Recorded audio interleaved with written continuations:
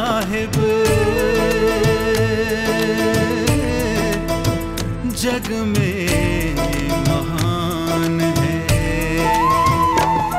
तेरे चरणों में मेरी जान है मेरा साहिब सत्य समान है।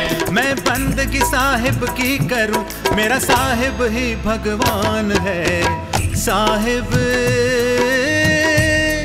जग में महान साहिब बंदगी साहिब बंदगी साहिब बंदगी साहिब बंदगी, साहिब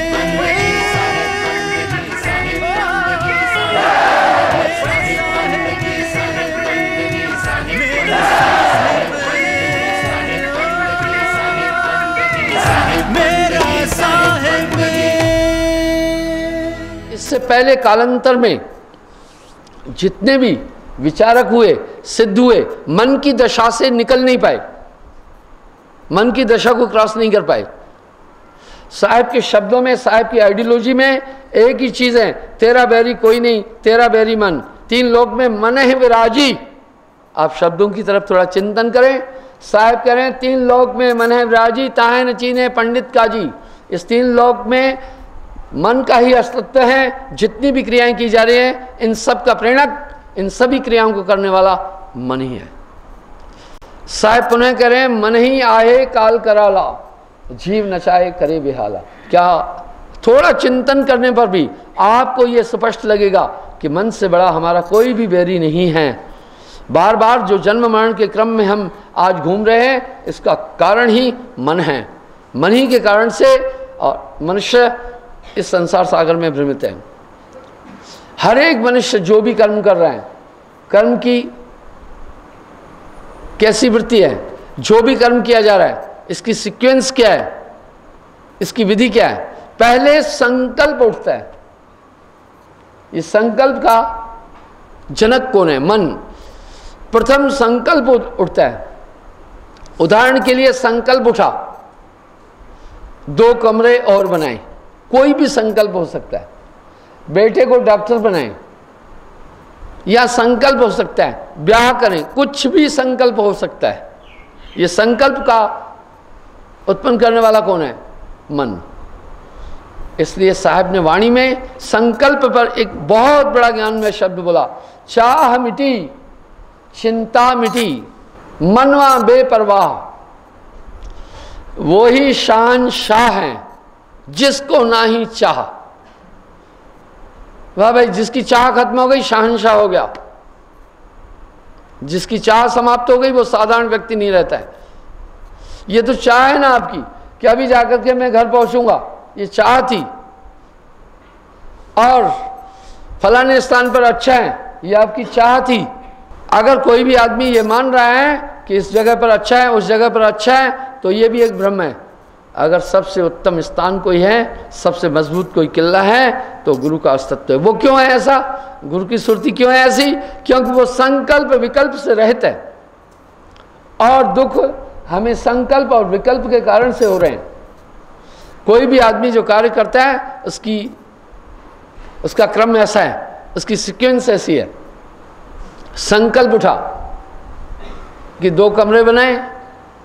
इस संकल्प ऑटोमेटिक उठ करके निश्चय के पास पहुँचता है। हर संकल्प पर निश्चय होगा।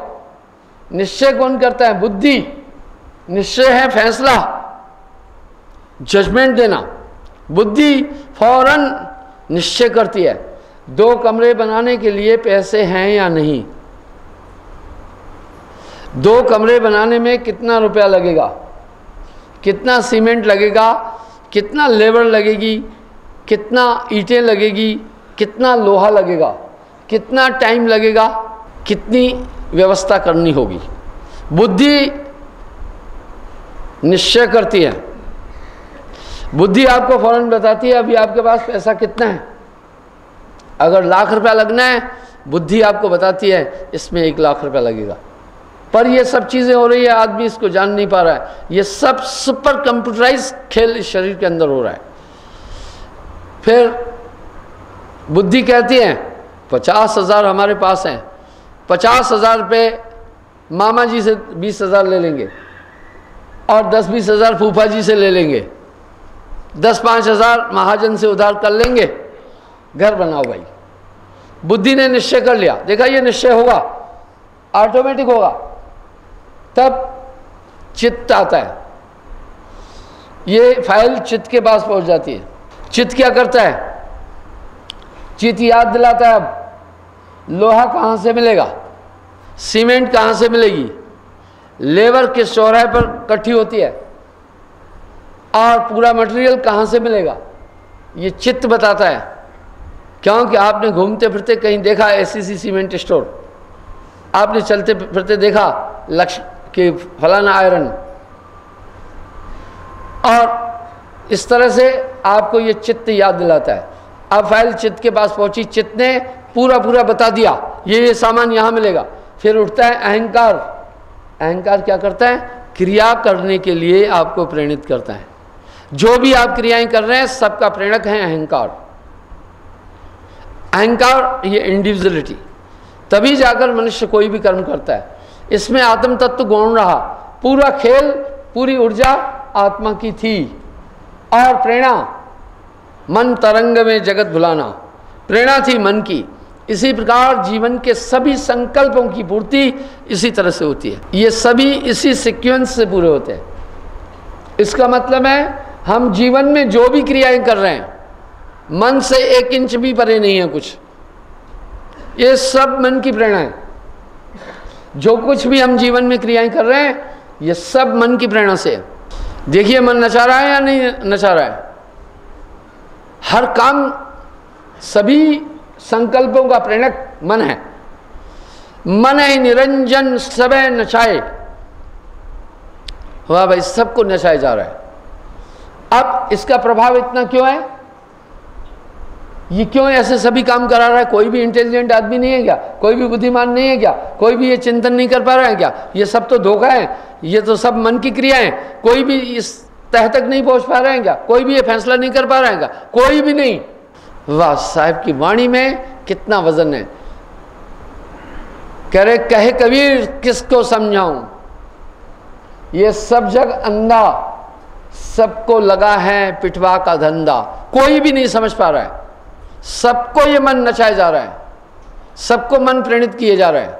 कितना ताकतवर है। और एक ही सिद्धांत में सबके अंदर बैठ कर के सबसे क्रियाएँ कराया जा रहा है।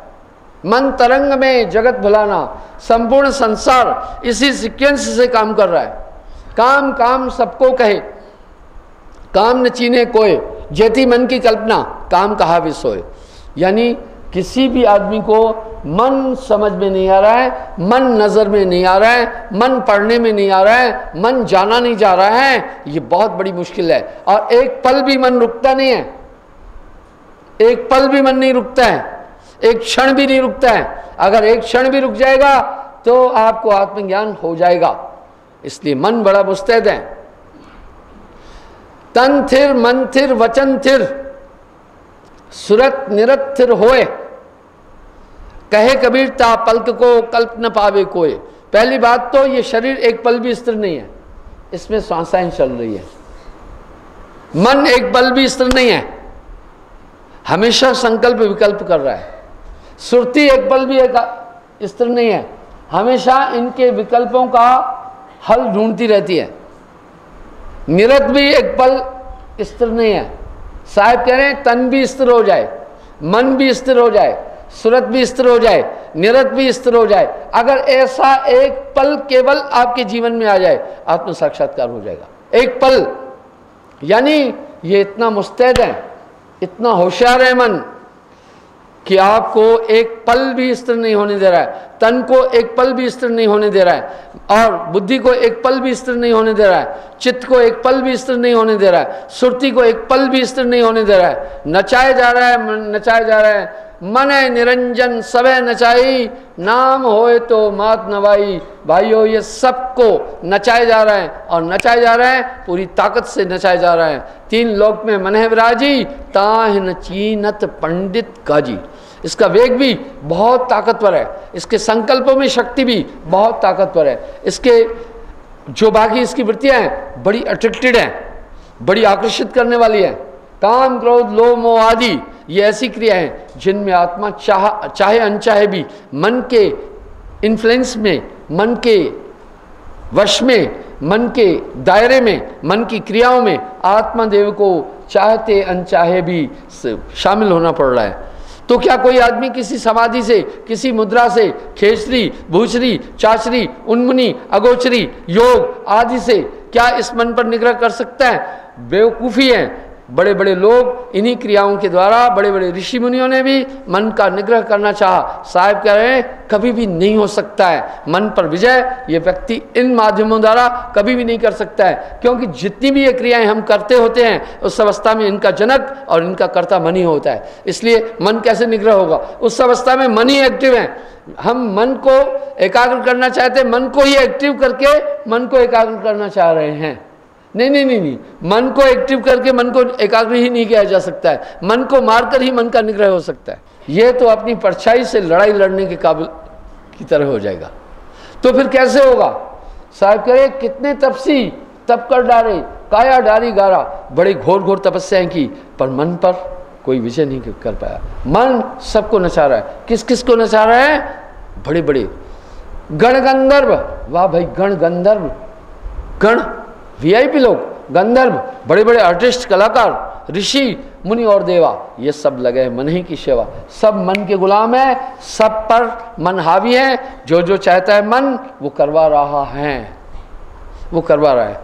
और पीर पैगंबर कुतुब अलिया यदि हम इन दिव्य पुरुषों के जीवन की तरफ़ भी देखते हैं, निष्पक्ष होकर के चिंतन करते हैं तो सच में लगता है, सबको नचाया इस मन ने।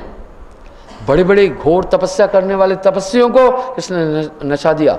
बड़े बड़े पीर पैगंबरों को नचाया। कई कई शादियाँ ब्याह कर दिया। कई कई वासनाओं में आए। कई कई अनलगढ़ काम कर डाले। कई कई बार हत्याएँ कर डाली। कई कई बार अनुचित कर्म कर डाले। और इन सभी चीज़ों को हमने लीला और माया में शुमार कर दिया।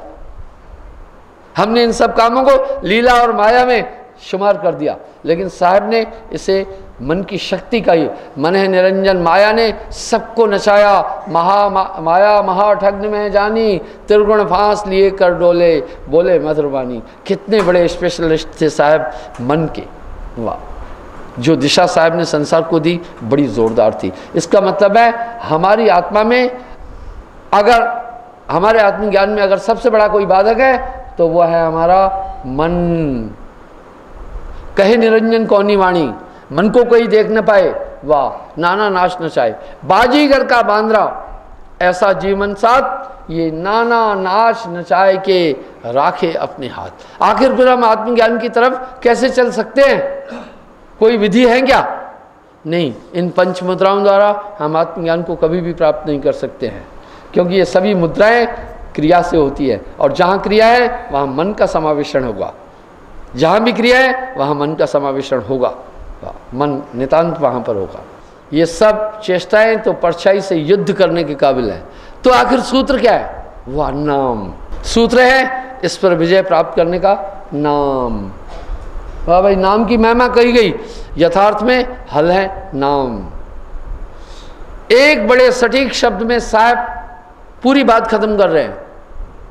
मन निरंजन सवय नचाए सबको नचा रहा है। पर नाम हो तो माथ नवाबे अब हमें देखना होगा क्या चीज़ है नाम। कह रहे, जब नाम होगा तब ये मन काबू आ जाएगा। मेरे एक शब्द पर चारों तरफ़ बहुत बड़ा विवाद खड़ा हो रहा है। चारों तरफ़ बड़ी डिस्कशंस चल रही है। चारों तरफ़ मेरी आलोचना भी हो रही है। वो शब्द है, जब मैं ये कहता हूँ, जो वस्तु मेरे पास है, वो ब्रह्मांड में कहीं नहीं।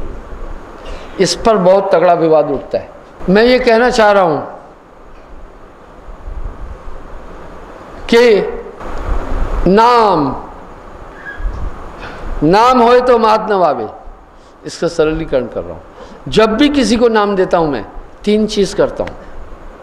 नामदान वो है, वो चीज़ है नाम।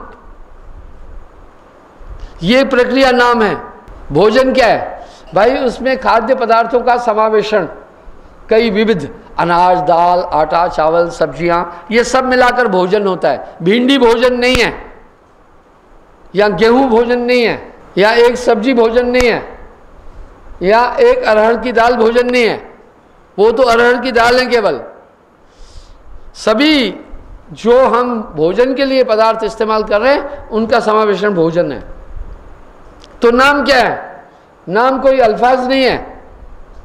आओ मैं प्रूफ कर रहा हूँ। मैं ये कहता हूँ, जो चीज़ हमारे पास है, ब्रह्मांड में कहीं नहीं। ये मेरा अहंकार नहीं है, ये मेरी आस्था और दृढ़ता से ये बात बोल रहा हूँ। क्योंकि जब हम नाम की, मैं मैं इसको सिद्ध भी करूँगा। जो भी आदमी दीक्षा लेता है, मेरे संपर्क में आता है, ये ललाचित करने के लिए नहीं बोल रहा हूँ। तीन काम करता हूँ। पहला, आत्मा और मन को अलग कर देता हूँ। ये प्रक्रिया बड़ी कठिन है। दूसरा, हृदय को प्रकाशित कर देता हूँ। कोई कनेक्शन फिट करके बल्ब डालकर नहीं। या वायरिंग करके अंदर कोई बल्ब पहुँचा दिया और बटन लगाया और दब गया। है नहीं? तीसरा कंप्लीट सिक्योरिटी आपके साथ दिव्य शक्ति हमेशा काम करेगी। मैं जानता हूँ आपको मेरी इस बात का भरोसा नहीं होगा। क्यों क्यों नहीं होगा? आपकी गलती नहीं है। आज बड़े बड़े झांसे बड़े बड़े वायदे बड़ी बड़ी बातें कर करके, काफ़ी मत मतांतर के लोग सबको अपनी ओर आकर्षित कर रहे हैं। इसलिए आदमी सतर्क हो गया है। दूध का जला, छाछ को फूंकता है। ये तीन प्रक्रियाएँ ही नामदान कहलाती हैं। पहली चीज़, मन और आत्मा अलग कैसे हुई? ये कोटि जन्म का पंथ था, गुरुपल में दिया लखा है। जैसे हंसा की चोंच में एक सिद्धांत एक हंसे की चोंच में एक गुण है। वो जल और दूध को अलग कर देता है। एक तत्व है उसके चोंच में। एक तत्व है। ऐसा काम बाकी कोई भी जीव धरती का नहीं कर सकता। एक हंसा कर सकता है। इस तरह एक महापुरुष की सुरती में यह गुण है। जैसे मंथानी दूध और मक्खन को, दही, छाछ और मक्खन को अलग कर देती है। इस तरह एक महापुरुष जिसकी परम चेतन सुरती है, आत्मा और मन को अलग कर देगा। इसी पर साहब ने एक शब्द का कोटि जन्म का पंथ था गुरुपल में दिया लखा है। जो मन बड़ी चेष्टा से हमारे अलग नहीं हो सकता था, ये पल भर में गुरु ने कर दिया। इसी बात की पुष्टि, वाह भाई, बुल्ले शाह अपनी वाणी में कह रहे हैं, गजब की बात कह रहे हैं। ना रब में तीर्थन डिठिया ना रोज़ा नमाजे, बुल्ले शाहनु मुर्शिद मिलिया, अंदरों रब लखाया। मैं जानता हूँ बुल्ले शाह बोल रहे कि न रब में तीर्थन डिठिया, न रोज़ा नमाजे। बुल्ले शाहनु मुर्शिद मिलिया, अंदरों रब लखाया। इस तरह मैं ये बात कह रहा हूँ, ये काम गुरु पल में करता है। अगर आप जितने भी कथावाचक मत मतांतर के अगुआ हैं, उनकी वाणियों को, अगर पहली वाणियों को आप देखेंगे तो उसमें सभी कह रहे हैं, भाई, तू कुछ कर, तू कुछ कर, तू कुछ कर। जहाँ वो कह रहे हैं, तू कुछ कर, तू कमाई कर। वहाँ मुझे संशय आ जाती है, ये फार्मूले का ये ज्ञाता नहीं है। ये इस फार्मूले का ज्ञानी नहीं है। इसको ये विधि नहीं आ रही है। साहिब नाम है तारन हारा साहिब नाम है तारन हारा इसमें जीवन का सुख सारा।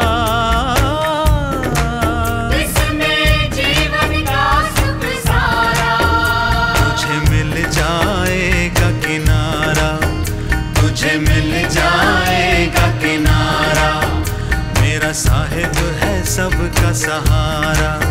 मेरा साहेब है सबका सहारा। है तीनों लोक में न्यारा। है तीनों लोक में न्यारा।